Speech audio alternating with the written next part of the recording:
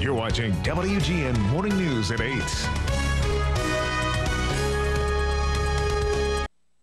You're watching Chicago's very own WGN News with Larry Potash, Robin Baumgart, Paul Konrad with weather, Valerie Warner with traffic, Pat Tomasulo with sports, and Sam Rubin live from Hollywood. This is WGN Morning News at 8.